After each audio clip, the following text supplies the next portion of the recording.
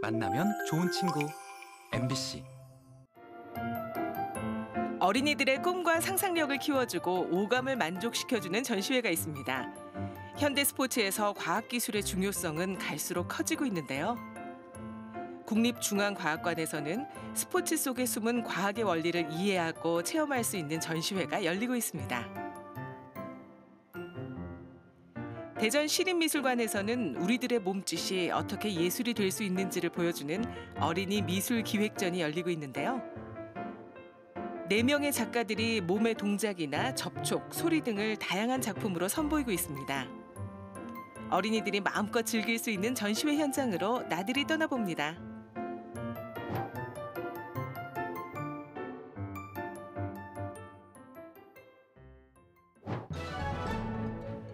프로그램과 문화 행사로 과학의 대중화에 앞장서온 국립중앙과학관. 이곳에서는 스포츠와 과학이 결합된 이색 전시회가 열리고 있습니다. 세계인의 스포츠 축제인 올림픽을 보면 인간의 한계에 도전하는 선수들을 만날 수 있습니다. 그런데 이들의 명승부 속에는 다양한 과학적 원리가 숨어 있다는 사실을 아시나요? 이번 전시회를 통해 그 비밀을 파헤쳐 볼 수 있습니다. 로봇이나 AR 같은 과학기술이 우리 삶에 빠르게 스며들고 있는데요. 활용은 하면서도 과학기술을 어렵게 느끼는 청소년이나 성인분들이 많습니다. 그래서 이번 전시회는 남녀노소 모두가 할 수 있는 스포츠를 주제로 과학기술을 친근하고 즐겁게 체험할 수 있는 그런 전시를 준비해봤습니다. 스포츠를 주제로 한 만큼 올림픽 관련 전시부터 눈에 띄는데요. 2024 파리올림픽을 기념해 포토존이 조성돼 있고요. 2024 강원 동계 청소년 올림픽에서 사용된 디지털 성화와 평창 동계 올림픽에서 성화를 봉송한 휴보 로봇도 만날 수 있습니다. 체험 공간에 들어서면 승리를 위한 다양한 공식들을 직접 체험할 수 있는데요. 내 몸의 운동 능력은 어느 정도일까요? 이곳에서는 15가지에 이르는 장비들을 통해 순발력이며 민첩성, 지구력 등 운동에 필요한 신체 능력을 측정해 볼 수 있습니다. 승리 공식이 내 몸 재발견 코너는요. 승리를 위한 첫 번째 공식으로 내 몸에 대해서 알아보자는 것을 제안하는 전시입니다. 그래서 민첩성, 순발력, 근력, 유연성 같은 다양한 신체 능력을 측정할 수 있습니다. 특히 인체 부위별 근력 측정기, 센서를 이용한 보행 분석기, 그리고 AI를 이용한 어, 체형 분석기 등 다양한 측정 기구를 체험할 수 있습니다. 승리를 위한 두 번째 공식은 첨단 기술입니다. 이곳에서는 스포츠 선수와 과학의 만남을 엿볼 수 있는데요. 마라톤과 양궁, 사이클 등에서 쓰이는 카본 신소재 장비와 축구 선수들이 입는 검은 조끼인 전자 데이터 측정 장비 등 경기력을 높일 수 있는 각종 장치들을 실물로 확인할 수 있습니다. ETPS는 전자선수 데이터 측정 및 추적 시스템으로 GPS가 내장되어 있어 선수들의 활동량, 심박수, 그리고 최고 달리기 속도 같은 기본적인 정보를 수집할 수 있습니다. 또한 선수들의 슈팅이나 패스 성공률, 그리고 스프린트 횟수 같은 추가적인 경기 데이터도 수집이 가능합니다. 승리를 향한 공식들을 만나봤으니 실제 운동에 적용해 봐야겠죠? 이곳에서는 AR이 접목된 클라이밍을 체험해 볼 수 있는데요. 가장 기본적인 동작인 삼지점의 원리를 떠올리며 초보자도 능숙하게 시도해 봅니다. 여기에 체험도 하고 재미있는 활동도 해가지고 재밌었고 가족들이랑 대결도 해가지고 되게 거기에서 재밌는 추억도 되고 대전에서 좋은 추억이 된 것 같아요. 관람객들은 저마다 마음속에 숨어 있는 승부욕을 발산하며 가족 혹은 친구들과 즐거운 시간을 보냅니다. 여러 명이서 왔을 때 그냥 간단하게 바로바로 점수 대결을 할 수 있어서 재밌었어요. 이번 전시회는 패럴림픽의 대표 종목인 보치아와 휠체어 육상을 체험할 수 있습니다. 특히 휠체어 육상은 사이클과 함께 경주할 수 있는 함께하는 레이스라는 전시품을 통해서 장애인과 비장애인이 동시에 올림픽과 패럴림픽 종목을 체험할 수 있습니다. 전시를 순서대로 관람하면 특별한 체험이 기다리고 있습니다. 전시 완주를 기념하는 메달을 목에 걸고 시상대에 오를 수 있고요. 또한 2024 파리올림픽에 참가하는 선수들에게 응원 메시지도 보낼 수 있습니다. 이번 전시회는 온 가족이 할 수 있는 다양한 스포츠와 그 속에 숨어 있는 과학기술 체험을 많이 준비했습니다. 가족 모두 함께 국립중앙과학관에 오셔서 스포츠과학 즐겁게 체험해 보시기 바랍니다. 생활 속 스포츠에서 흥미로운 과학 기술을 발견할 수 있는 특별 전시회. 파리올림픽 개막 첫날인 7월 26일까지 열리는데요. 선수들이 펼치는 명승부 속에 숨어 있는 다양한 과학적 원리를 온몸으로 체험해 보시기 바랍니다. 대전 시립미술관에서도 가정의 달을 맞아 어린이들이 감상하기 좋은 전시회가 열리고 있습니다. 우리는 주로 언어를 사용해 소통하지만 때로는 말 대신 몸을 사용할 때도 있는데요. 이번 전시에서는 네명의 작가들이 참여해 몸을 주제로 회화, 설치, 영상, 사진 등을 선보이고 있습니다. 작가별로 관람에 대한 이해를 돕는 활동 카드가 마련돼 있어 어린이들이 보다 적극적으로 관람을 즐길 수 있습니다. 대전 시립미술관은 그간 예술이 낯선 관객을 맞이하는 전시를 기획해오고 있었는데요. 특히 몸짓하다 전시는 시각과 인식이 줄- 주는 즐거움은 잠시 뒤로 하고 우리 몸짓을 통해 어떤 것을 표현하고 깨달을 수 있는지를 알아보는 전시입니다. 캔버스에 그려진 회화는 작가가 붓을 들고 그린 게 아니라 자신의 몸을 사용한 흔적인데요. 우리나라 행위예술의 선구자 이건용 작가의 작품입니다. 작가가 과감한 몸짓으로 만들어낸 색과 형상은 춤을 추는 듯한 생동감을 연출합니다. 이건용 작가는 전통적인 회화 양식에서 탈피하여 행위 예술과 관련된 그리기 방식을 사용합니다. 특히 1970년대부터 그는 예술이 무엇인지 근본적인 질문을 던지며 우리 몸짓도 예술이 될 수 있다고 생각하셨습니다. 그래서 앞에 보이시는 작품과 같이 캔버스를 마주 서지 않고 캔버스 뒤에 서거나 옆에 서서 또 그리고 팔을 벌리고 허리를 구부려서 그림을 그리셨습니다. 전시장 중앙에는 홍세진 작가의 설치 작품이 놓여 있는데요. 어릴 때부터 소리를 잘 듣지 못한 작가는 보청기로 들었을 때의 소리가 실제 소리와 많이 달라 놀란 적이 있다고 합니다. 작가는 이때의 경험을 토대로 진짜 소리가 어떤 모양인지를 탐구하는 작품을 만들어서 선보이고 있습니다.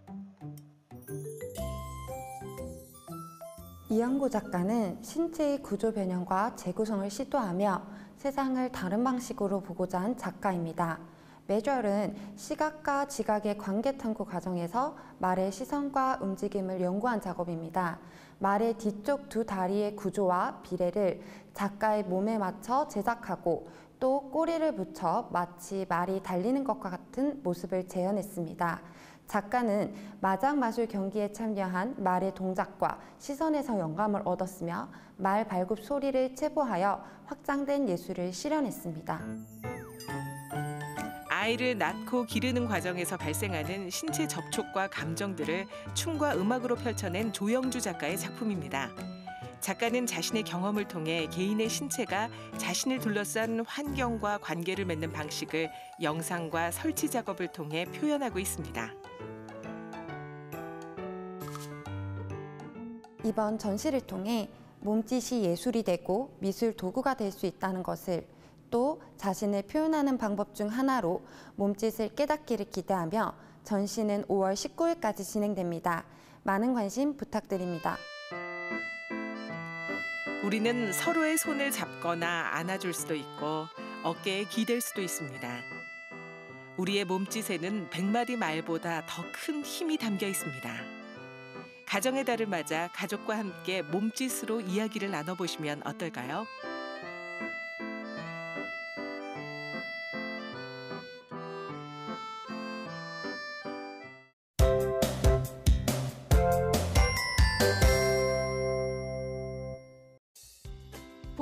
촉촉히 내리는 주말 아름다운 봄을 즐기기 딱 좋은 축제가 충북 진천에서 열렸습니다.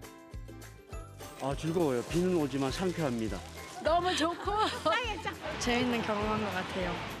볼거리, 즐길거리, 먹을거리 가득한 진천 농다리 축제와 더불어 열리는 레이크 사랑 걷기 대회에 함께 가보시죠.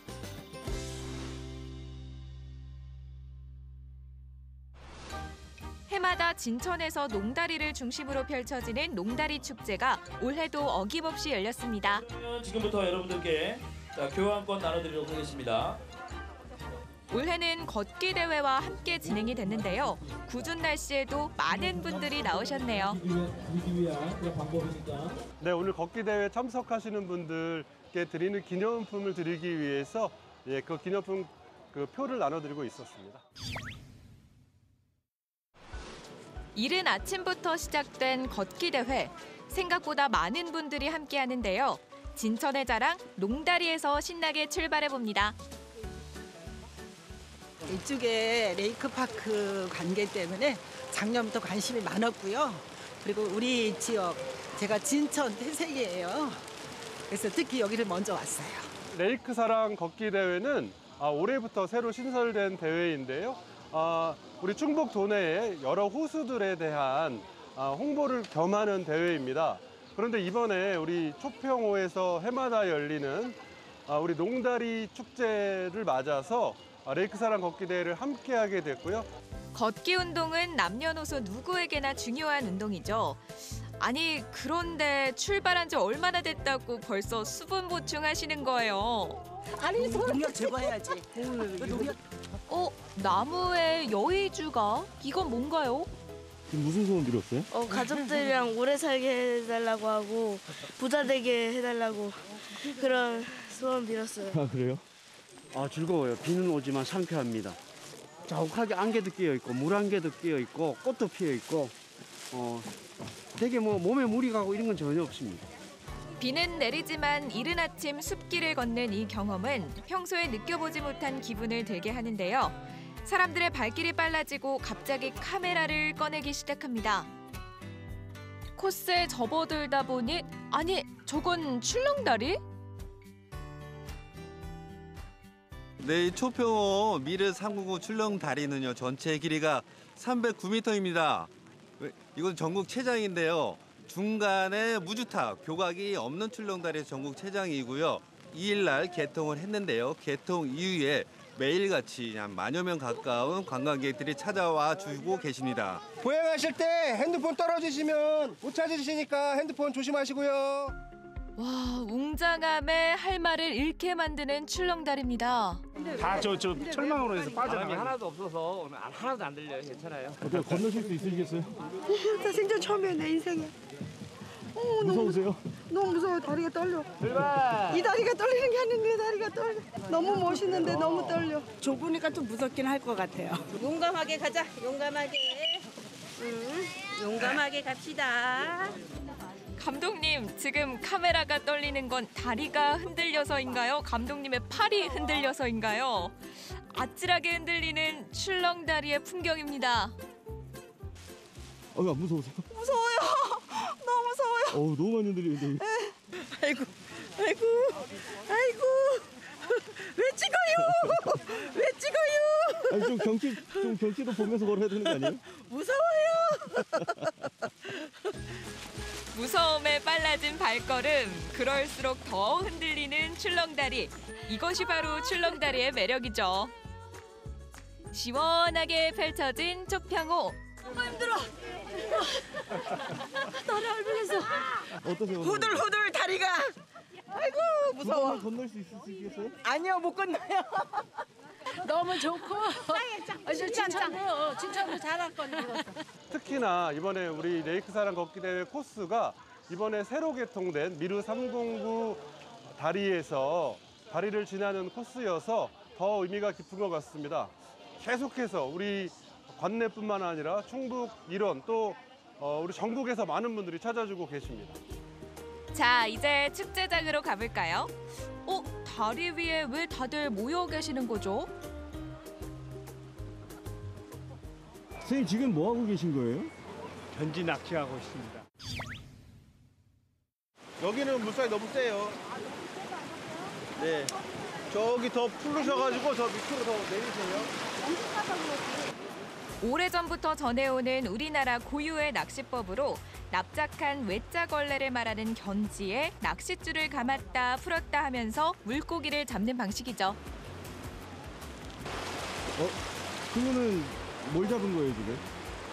뿔떼기요. 오늘 안 잡히는데요? 어, 너무 좋은 추억이죠. 너무 즐거웠습니다. 가족끼리 이렇게 나들이 하고 하니까 너무 좋은 것 같아요. 아들은 어땠어? 재밌긴 했는데 못 잡아서 아쉬웠어요. 네, 바로 그러면은 공연 시작하도록 하겠습니다, 여러분. 여러분 긴장하지 말라고 박수 쳐주세요. 잘 걷고 잘 놀고 이제 제대로 볼거리만 남았는데요.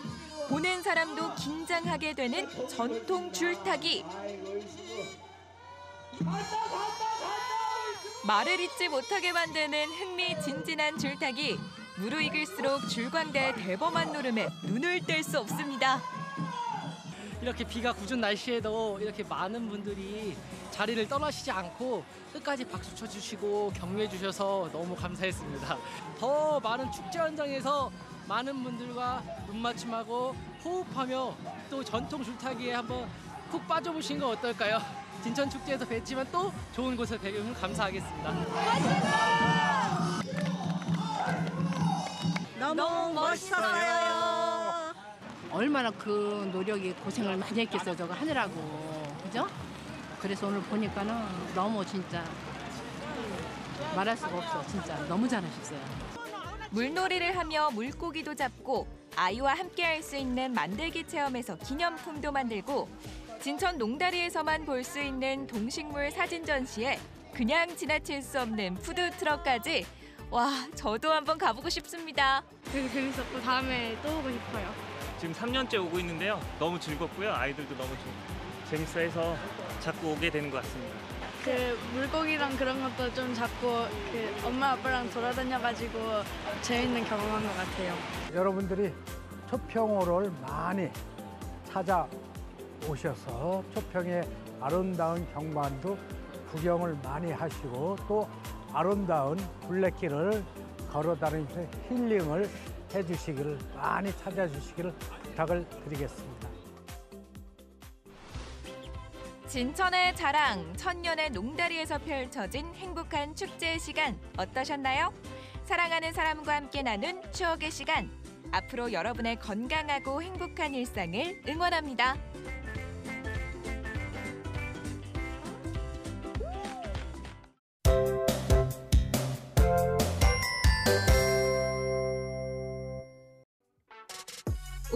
어김없이 바쁜 하루를 보내는 대한민국의 많은 직장인들.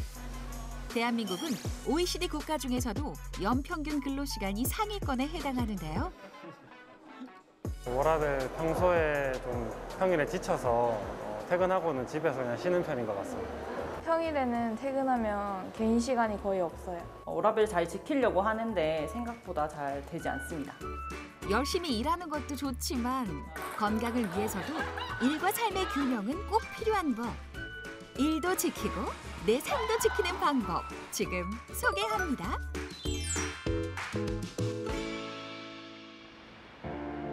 첫 번째로 찾아간 곳은 대구 달성에 위치한 직업병 안심센터. 열심히 일한 대가로 생긴 몸의 병인 직업병을 진단해주는 곳입니다. 노동을 제공하는 것과 연관된 질병을 모두 직업병이라고 할 수 있습니다. 일반인들이 생각하시기에는 보상, 산재 이렇게만 생각을 하시는데 내가 제공하는 노동과 연관된 모든 질병은 다 직업병이라고 할 수 있습니다. 더 이상 낯설게 느껴지지 않는 일상 속 직업병. 나에게 생긴 병의 원인을 정확하게 판단하기 위해서는 전문가의 도움이 꼭 필요한데요. 요즘은 천식약 드시고 증상이 좀 어떠세요? 아, 지금 천식약 먹고 괜찮기는 하긴 한데 그 이제 근무하고 이제 집에 가면 조금 더 밤 사이에 네, 계속 기침이 심하시죠, 심한 그죠? 것 같아요. 네. 음. 직업환경의학과 전문의와의 체계적인 상담은 물론 작업 환경 조사를 통해 질병의 정확한 원인을 파악하고 직업병 예방에도 힘쓰고 있다는 직업병 안심센터. 최근에는 퇴근 후에도 휴대폰, SNS를 통해서 업무가 연장이 되면서 직장과 휴식 공간 간의 물리적인 경계가 사라져서 언제 어디서든 일을 하고 있다는 생각을 근로자들이 들게 되거든요. 그러다 보니 워라벨, 즉 일과 나의 쉼터, 그런 삶의 균형을 찾고 싶어 하는 사람들이 많아지고 있습니다. 몸이 건강하기 위해서는 마음도 건강해야 하는 법. 근로자들의 마음 건강을 지킬 수 있는 곳이 있다는데요. 스트레스에 쉽게 노출되는 감정 노동자들을 위해 전문가와 함께 여러 프로그램을 운영하는 대구 감정 노동자 권익보호센터. 감정 노동자를 위한 일대일 심리 상담, 집단 치유 상담, 힐링 프로그램 등을 통해 근로자들의 마음 치유에 직접적인 도움을 주고자 노력하고 있으며 근로자들의 작업 관련성 질환 예방, 스트레스 해소를 위한 그룹 운동, 일대일 PT도 진행하고 있어 근로자들의 정신적, 신체적 건강 증진을 위한 다양한 프로그램을 운영하고 있습니다. 나의 마음을 돌볼 시간도 없이 바쁘게 살아가는 사람들. 오늘만큼은 나를 돌아보는 시간을 가져봅니다. 상담사와 함께 대화를 나누며 지친 마음을 회복하는 시간.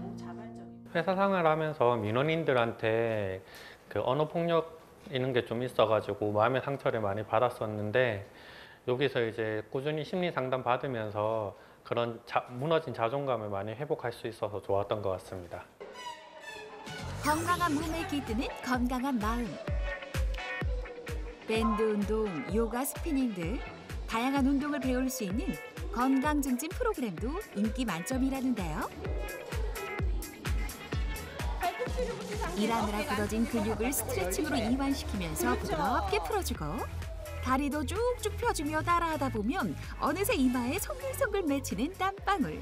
제가 컴퓨터를 많이 하는 직업이다 보니까 어깨가 많이 아팠는데요. 한 달 운동하고 나니까 어깨 통증도 많이 없어지고 이 운동하다 보니까 땀 흘리고 하면서 좀 스트레스도 많이 풀리는 것 같아서 너무 좋은 것 같아요. 일 마치고 한 시간 이렇게 땀 흘리니까 정말 기분이 좋아요.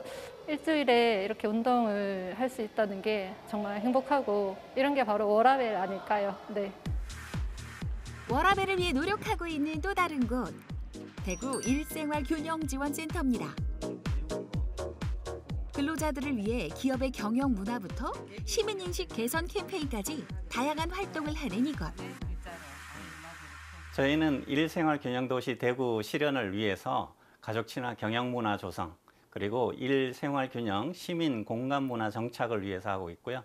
워라벨 추진 네트워크를 통해서 워라벨 사회 환경을 조성하고 있습니다. 워라벨을 실현할 수 있는 사회를 만들기 위해서는 기업만의 노력도 근로자만의 노력도 아닌 모두의 노력이 필요한 만큼 다양한 프로그램을 제공하는 대구 일생활 균형지원센터.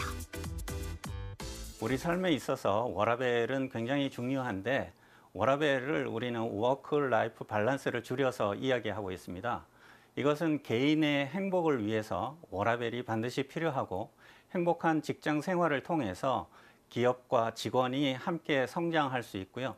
개인은 조화로운 삶을 만들어갈 수 있기 때문입니다. 오늘도 누군가의 행복한 직장 생활을 만들어주기 위해 기업에 직접 교육을 지원하기 위해 나가는 센터 직원들. 자, 우리 교육 갔다 올게요. 오늘 가시는 곳은 어딘가요? 어, 지금 그 워라벨 아카데미 교육 진행을 하기 위해서 근처 기업체에 가는 길입니다. 저희 워라벨 아카데미를 통해서 일생활 균형이 무엇인지 좀 알아가는 시간도 되고 평소에 대화를 못했던 직원분들이랑 또 임원분들이랑 같이 재미있는 게임도 하면서 소통할 수 있는 시간이 되었으면 좋겠습니다. 직원들의 워라벨을 위해 먼저 손을 내민 이곳. 일할 때는 집중해서 일하고 쉴 때는 제대로 쉬게 해준다는데 다양한 사내 복지 공간 어떻게 마련하게 됐을까요? 저희 회사 경영 철학이 직원이 행복한 회사입니다. 그래서 어, 직원이 일을 하면서 가족과 시간을 보냈으면 싶었습니다. 그래야지만 음, 즐겁게 일을 할 수 있고 일과 개인 삶이 분리되면서 업무 효율도 생긴다고 생각합니다. 저희 복지는 카페, 요가, 필라테스, 피부 관리 그 중에서도 가장 선호를 하는 연애 이렇게 40만 원의 자기 개발비를 지원하고 있습니다. 그래서 그걸 가장 좋아하고 있습니다. 워라벨 교육을 듣기 위해 삼삼오 모인 사람들. 워라벨에 대한 기본적인 이해부터 행복한 직장을 위한 실천 교육까지 어려운 내용의 강의도 집중해서 듣는 직원들. 우리의 능력이 크려면 내가 열정을 쏟는 것은 나도 모르게 이렇게 열정을 쏟게 되고 최선을 다하게 되고 그런 장소가 어디가 되면 좋을까 생각하면 이 직장이 되면 좋겠다 이런 생각을 하거든요. 이론 강의가 끝나면 팀 빌딩 시간을 통해 평소에 서먹했던 동료들과 즐거운 게임을 하며 소통과 교감의 시간을 가집니다. 별로 관심이 많이 없었는데 이번에 센터 강의를 통해 가지고 저 워라벨의 중요성이라든지 참뜻 그리고 저만의 워라벨 생활 패턴을 또 만들어 보자 하는 그런 생각이 들었던 것 같아요. 또 퇴근 후에는 그 시간을 온전히 나만을 위해서 보내려고 노력을 하고 있고요. 뭐 영어 학원이라든지 운동 이런 걸 좀 최대한 하려고 노력을 하고 있습니다. 백세 시대라 불리는 요즘 내가 좋아하는 일을 즐겁게 또 꾸준히 하기 위해서 꼭 필요한 일과 내 삶의 적절한 균형. 너무 시원하게 잘 받았고요. 회사에서 근무 시간에 무료로 이렇게 관리를 받을 수 있다는 게 너무 좋고요. 일하면서 이런 복지 혜택들을 누리니까 일을 하면서도 그렇고 퇴근을 하고 나서도 제가 뭔가 이제 활동적인 걸 할 수 있는 에너지가 정말 충만하게 생긴다고 생각을 해요. 직원들의 사이도 좋아지는 것 같고 일의 능률도 오르는 것 같고 삶의 질도 향상되는 것 같아서 좋아요. 근로자의 날인 5월 1일. 지금도 저마다의 자리에서 열심히 일하고 있을 수많은 근로자. 여러분의 일과 삶의 균형 워라벨을 함께 응원합니다.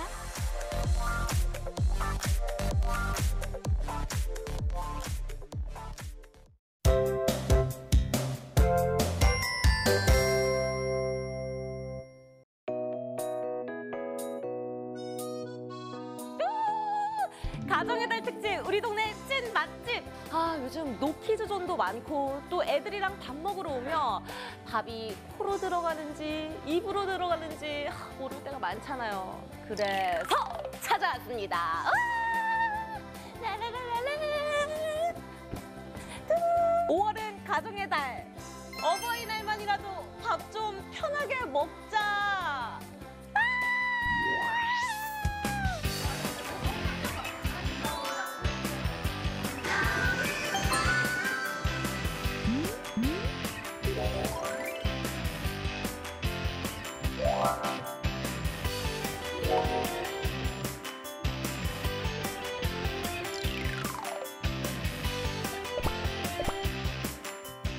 저희 신랑이 오늘 고생했다고 저한테 주네요.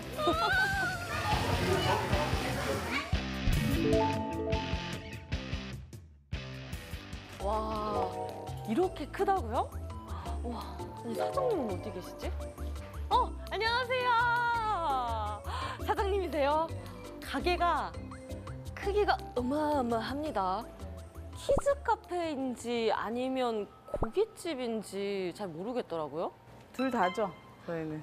키즈 카페만 따로도 이용 가능하시고 식사만 따로 하셔도 되고. 요즘은 큰 가게가 별로 없잖아요. 근데 저희가 그 전에도 식당을 할 때 놀이터 조금 있는 그렇게 했었어요, 막창집을. 그러면서 이제 애들이 점점 이제 많아지다 보니까 아, 이거는 애들을 위한 공간을 만들어야 된다. 키즈 카페라는 곳을 제가 따로 이제 큰애 둘째 크면서 가봤었거든요. 가보고는 너무 좋은 거예요. 엄마의 입장으로 아, 이런 가게에서 고기를 팔면 너무 좋겠다 그래서 우리나라 사람들은 이게 고기잖아요. 맞아요. 엄마의 마음으로 딱 느끼셨던 것을 그대로 구현해 놓은 곳이네요. 그럼 사장님도 자녀가 몇 분이 있으세요? 저희는 일곱. 네? 일곱 명. 일곱 명이요? 저기 지금 카메라 뒤에 한 하나, 둘, 셋, 네 명의 아기들이 있는데 혹시 사장님의 네, 저희 애들이에요. 아니 부부 금슬이 너무 좋으신 거 아니에요? 그런 건 아닌데. 어떻게 하다 보니까. 그래서 이 뒤에 물고기들도 잘 키우시는 건가요? 아니 제가 원래 이런데 그런 그 소질은 없었는데 뭐 애들 키우다 보니까 좀 는 것 같아요. 그러면 이 육아 꿀팁 이런 거 있어요? 그냥 조금 이렇게 애기들 떼 쓰는 시기가 있잖아요. 그럼 우리는 한 명이 이렇게 해서 받아주면 난리가 나니까 안 되는 건 무조건 안 돼. 그러니까 막 울면 너 울어도 안 돼 하고 그냥 알았어 다 울고 나오면 찾아와 하고 그냥 가서 딴 일 하고 있으면 나중에 애들이 슬금슬금 그냥 오거든요. 그치고. 똑같죠 뭐 애기들 키우는데 애기 한 명이든 일곱 명이든 맞아요. 아, 아니 이렇게 넓으니까 어린이집에서 단체로 와도 될 것 같고 또 여기 옆에 대왕 공원도 있잖아요. 갔다가 가족끼리 탁 단체로 와도 너무 좋을 것 같은데요? 90명까지 받아본 적 있어요. 90명이요? 애기만? 네. 저희가 이제 3시부터 문을 여니까. 네. 3시부터 문을 여니까 그 전에 이제 어린이집 활동 시간에 독점으로 오셔가지고 엄마. 이제 하고 가는 경우도 있는데 네. 테이블 한 팀에 하나가 아니에요. 그냥 어른 항상 손님 들어오시면 어른 두 명에 애기 다섯 명, 어른 뭐 여섯 명에 애기 아홉 명. 바글바글 해요. 맞아요. 주말에는 막 정신이, 정신이 없을 예. 것 같아요. 그래도 맛집이라고 소문이 났으니까 맛이 제일 중요하지 않을까요? 원래 키즈 카페라고 하면 편견을 좀 많이 갖고 들어오시잖아요. 근데 저희 7년 정도 막창 장사 하다가 저 여기서 지금 한 지 7년 정도 됐거든요. 아, 10년을 넘게 막창을 하셨구나. 그리고 막창 장이나 뭐 모든 소스류들은 다 직접 만드니까요, 저희가. 에이, 뭐입 빼렸다 이럴 정도는 아니니까. 어린이 메뉴도 있어요? 어린이 메뉴 있죠. 이제 주먹밥도 있고 어린이 된장 안 매운 거. 수제비도 있고 뭐 라면도 매운맛 안 매운맛. 애, 애들 손님이 많다 보니까 된장 시키시면 어린이 된장 드릴까요? 매운 된장 드릴까요? 아. 항상 그렇게 물어보고. 저는 맛있는 된장이요. 아, 이 냄새, 이 연기. 이거는 맛이 없을 수 없는 비주얼입니다. 와우, 막창까지. 키즈 카페 안에 불판이 있다는 게 너무 신기하지 않아요? 근데 이 불판이 있을 줄 누가 알았겠어요. 어, 놀다 와, 놀다 와. 먹고 있을게, 놀다 와.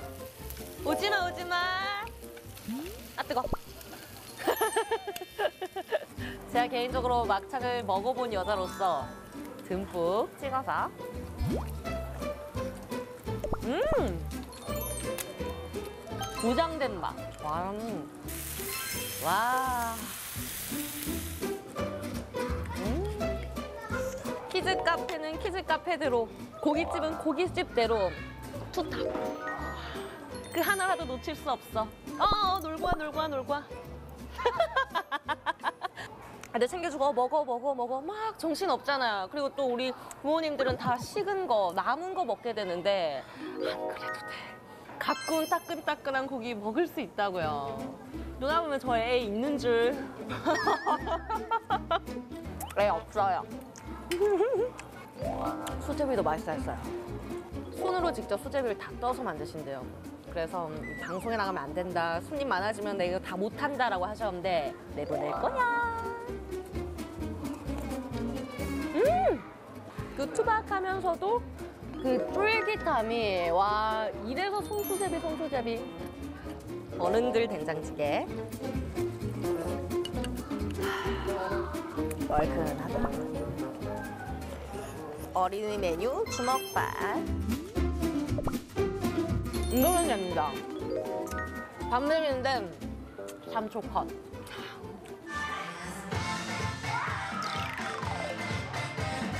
여기는 온 가족이 요리를 만들고 또 온 가족이 서빙도 하고 온 가족이 와서 즐길 수 있는 곳이에요. 보통 우리가 키즈 카페 하면 음식에 대한 기대는 안 하잖아요. 그런데 여기는 믿고 먹으셔도 된다. 여기는 고깃집이다.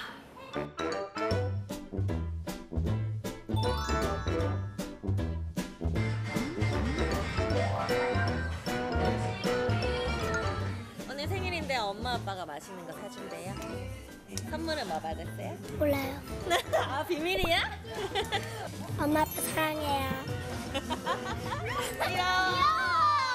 이 꽃은 뭐예요? 저희 아들 생일이라서 어, 저희 신랑이 오늘 고생했다고 저한테 주네요.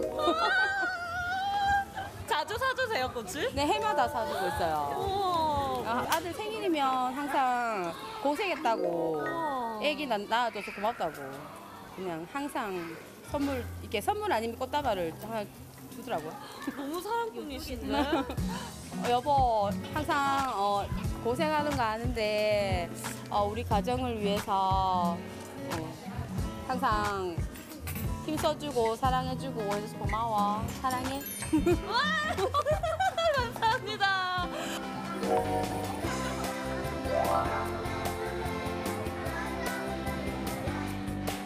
Bye.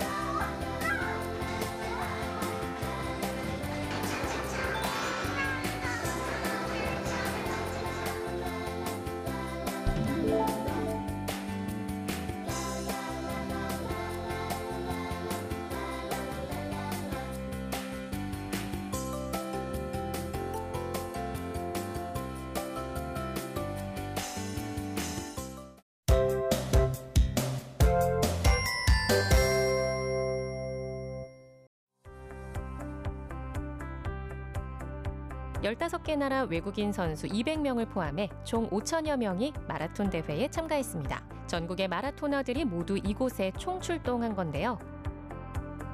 대회를 앞두고 자신만의 방법으로 몸풀기가 한창인 선수들. 그리고 그 중에 가장 많은 응원을 받는 한 선수. 파이팅하십시오.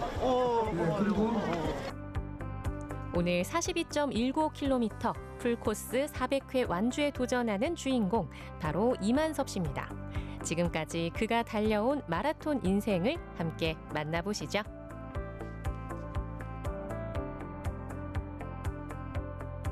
특별한 걸 보여주겠다며 집으로 초대한 주인공.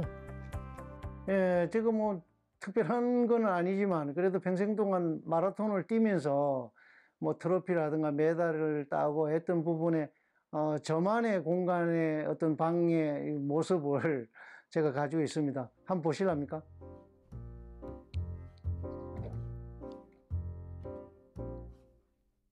지난 25년 동안 그의 마라톤 역사가 고스란히 기록돼 있는 일명 마라톤 기념방을 소개합니다. 초등학생 시절부터 유달리 운동을 좋아했던 그는 2000년부터 본격적으로 마라톤을 시작했고 전국 대회는 물론 세계 대회까지 두루 섭렵했습니다. 어, 지금 뭐 이사를 많이 하고 여러 번 다녀서 이 트로피도 이제 많이 분실되고 다시 대회 가서 또 받으면 되겠지 하고 생각했었는데 지금 생각해 보니까 그때 뛰었 고 받았던 거는 다시 돌아올 수 없더라고요. 그래서 상당히 아쉬운 점도 있는데 어, 지금 뭐 그 이후로 어떤 일부분은 지금 제가 이제 소장을 하고 있습니다.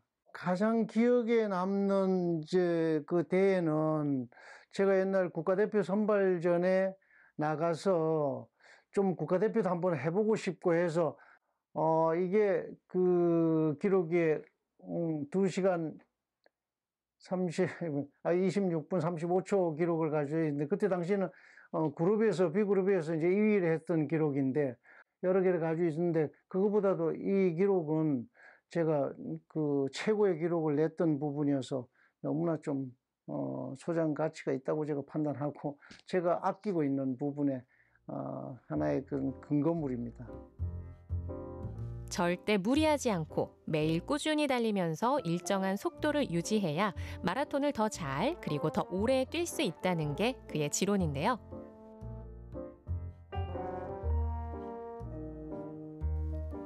지난 주말 이른 아침부터 삼척 엑스포 광장이 북적입니다. 기분 어떠세요? 기분 비가 와가지고 좀 그러는데 지금 뭐 양호합니다. 상당히 좋은 상태이고요. 어, 무거워서 좀잘 뛰고 싶었는데 오늘 비가 오는 바람에 좀 페이스 조절도 좀 해야 되고 어, 완주를 좀 하기 위해서는 아마도 저 체력 한계 이런 부분들을 잘좀 조율을 해야 될 것 같습니다. 아 완주는 어, 그 완주를 해야 되겠죠. 오늘 어, 완주하겠습니다. 네. 삼척시 육상연맹 회원들과 함께 준비한 이번 대회. 완주는 해야 돼요. 벌써 완주하는 이런 게딱 걸려 있어가지고 완주 안 하면 잘못하면 현수막 다, 다 물어줘야 될것 같아요. 아니 큰일 났어요.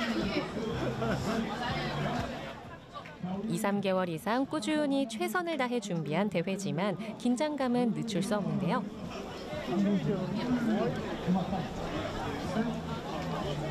출발 신호 쪽으로 가야 될 것 같아요. 이제 대회 시작이 임박했나 봅니다.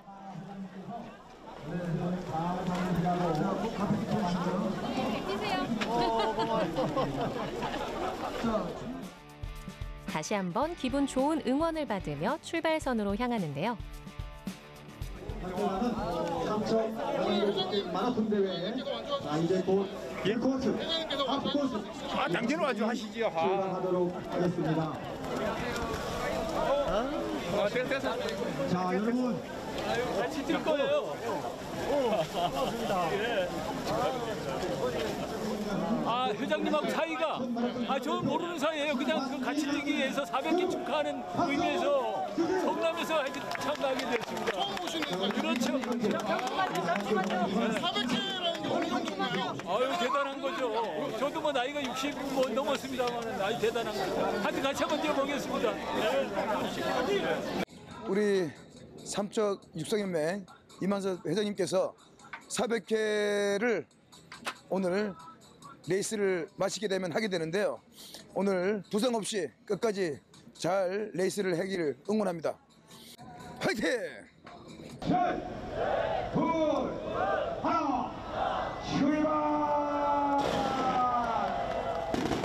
자, 드디어 삼척 황영조 국제 마라톤 대회에 막이 올랐습니다.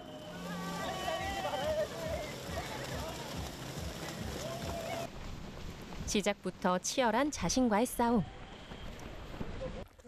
하지만 오르막길도 문제 없이 극복합니다.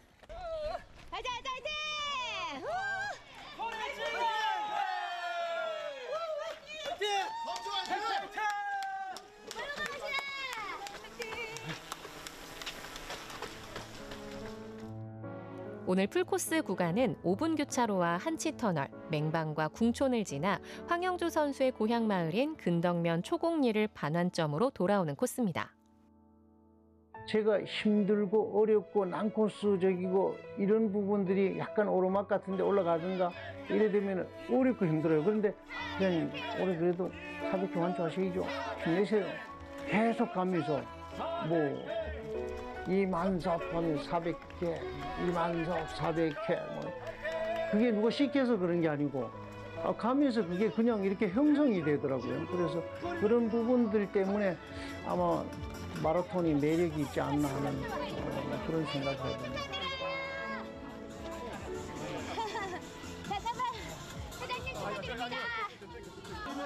풀코스 400회 완주 성공. 네 4278 아유 기분 좋습니다. 아침에 비가 와가지고 걱정을 많이 했었는데 오늘 예정외로 일기가 좋아서 아주 상당히 좀 좋았습니다. 힘들진 않으셨어요? 아, 힘- 힘은 어, 좀 들었는데 그래도 오늘 400회 완주한다는 그런 생각으로 좀 뛰는데 그좀 자신감이 좀 많이 붙었습니다. 제28회 삼척 황룡조 국제 마라톤 대회에서 대망의 풀코스 400회라는 대업을 이루셨기에 전 회원의 감사한 마음을 담아 이 패를 드립니다. 네, 감사합니다. 전국의 달리미들이 응원해줘서 오늘 무탈하게 아, 400회를 완주했습니다.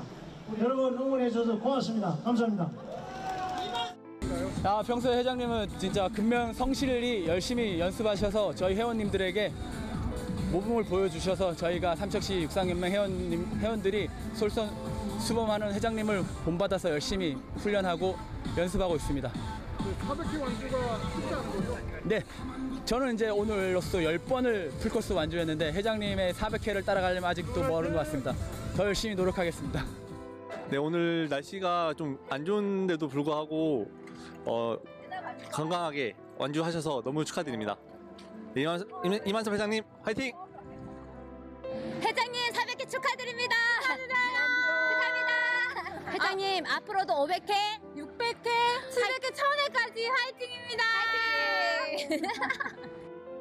언제까지 뛰겠다 하는 걸 정확한 답을 유출한다면은 뛸 수 있을 때까지 뛰겠다 하는 답이 정확한데 그래도 제 목표는 한 70세까지는 그래도 풀코스를 한번 뛰어보자 이렇게는 지금 이제 생각은 가지고 있습니다. 자신의 속도에 맞춰 꾸준히 달리면 언젠가 그 목표는 반드시 이뤄진다는 이만섭 씨.